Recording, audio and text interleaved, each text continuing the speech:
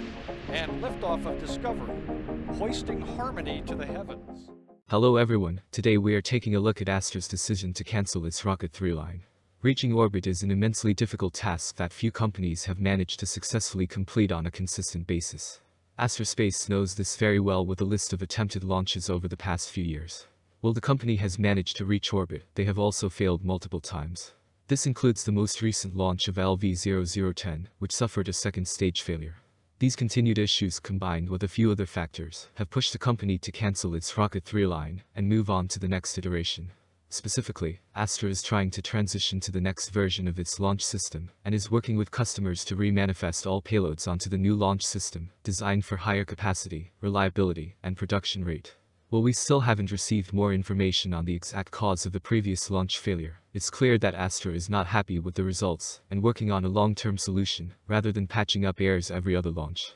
Here I will go more in depth into the cancellation of this rocket line, what Astra is going to work on, and what to expect in the coming months from the company. Only a few days ago Astra announced that it plans to stop production on its current rocket line after multiple different failures.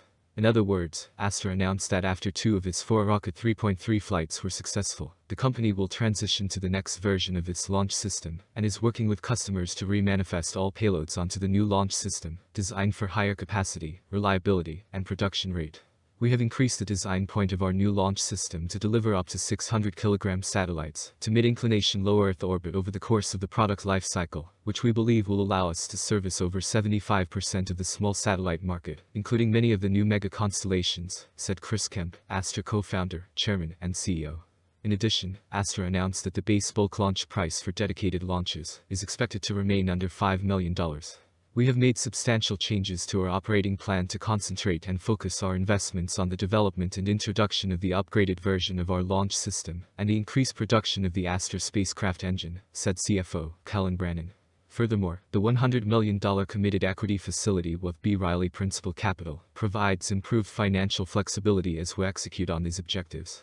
Taking a closer look at the history of the Rocket 3 line gives a better idea of why Astra is moving on. Starting in September of 2020, there was a second attempt to launch a Rocket 3 for the first time. Initially intended to be the second of two launches for the DARPA Launch Challenge. However, 30 seconds after liftoff engines were shut down by the range safety officer. Only a few months later that same year in December, Astra tried another launch with Rocket 3.2. This was the first Astra rocket to pass the Kármán line and reach its target orbital altitude of 390 kilometers. However, it narrowly failed to reach stable orbit due to issues with the upper stage propellant mixture ratio, but exceeded the company's expectations with an otherwise successful climb into near orbital space from Kodiak Island, Alaska.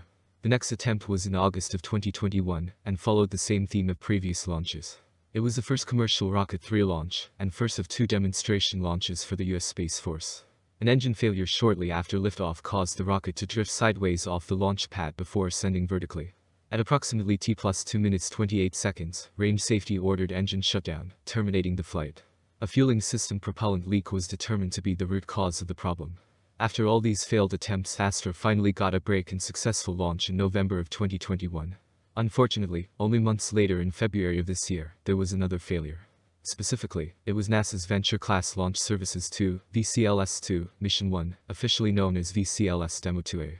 The ELaNa 41 mission, consisting of four CubeSats, was launched on this flight.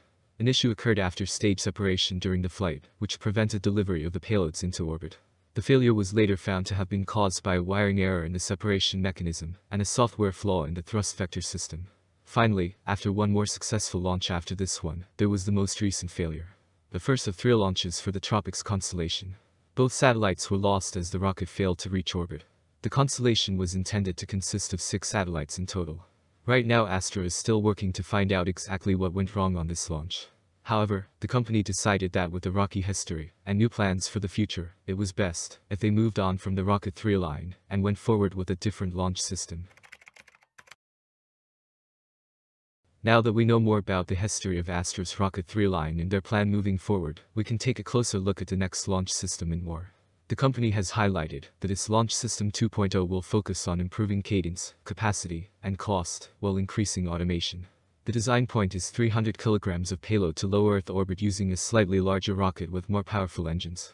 While Astra continues to focus on capacity, they are continuing to drive costs down as well. Their base launch price will be $3.95 million. By continuing to offer what they hope to be the lowest price per launch, they are confident they will continue to attract customers. One of Astra's unique rocket features has to do with its ability to move around easily. It will still be, critically, a mobile launch system. The rocket will still be transportable in shipping containers, Kemp said. It really differentiates us from the large rockets, where you can pack the entire thing up, put it on a plane, a truck, a train, a container ship, move it anywhere around the world discreetly. In addition, while there are complexities to announcing the next launch, Astra aims to achieve a daily launch capability by expanding the number of spaceports, using private and exclusive use launch sites, leveraging streamlined regulatory processes, such as the FAA's Part 450 license, using its existing mobile launch capability, and requiring limited infrastructure at the launch site. Part 450 licenses can be modified to add additional sites, saving the time and expense of applying for a new license as Astra expands its rocket and spaceport fleet. This same cost efficiency is realized on a permission basis, with streamlined regulatory compliance for each subsequent flight under Part 450. Thanks to advancements in technology, space is now accessible to the private sector in ways that it never has been before, enabling a new generation of entrepreneurs. The revolution happening in the space industry is akin to the birth of the internet. Tens of thousands of satellites are planned to be built and launched in the coming decade. The new Part 450 rule was introduced to support greater innovation and help lay the foundation for the FAA to keep pace with the dramatic increase in the cadence and complexity of commercial space transportation operations. Astra is also focused on dramatically increasing access to space by scaling its launch services business as quickly as possible. The company highlights that to get to space more economically, you can either scale up your rocket or scale out your factory to make many smaller rockets. They've chosen to scale out their factory and automate as much as they can, so they can make more rockets more quickly with less people. As part of this, Astra unveiled the next phase of its launch services roadmap, Launch System 2.0. In the next phase of Astra's plan for the future, they are working to develop or license required core space technologies that will be productized and incorporated into newer rockets, satellites, and other infrastructure that will be used to deliver space services. The acquisition of Apollo Fusion last summer is one example of the company acquiring and productizing a core space technology. Finally, in Phase 3, which they expect by 2023, they plan to vertically integrate Astra's core technologies into an Astra constellation, which will be optimally launched and maintained by the Astra launch system allowing them to power the space economy. These very ambitious plans for the future are what Astra is working on now, in order to become a more capable launch and service provider. Astra along with many other companies have proved how hard it is to successfully reach orbit. Unfortunately for Astra, the company has managed to achieve that milestone, but can't consistently get there. This among other reasons has led the company to move on from its current rocket and work on Launch System 2.0. We will have to wait and see how it progresses, and the impact it has on the space industry. Thank you very much for watching.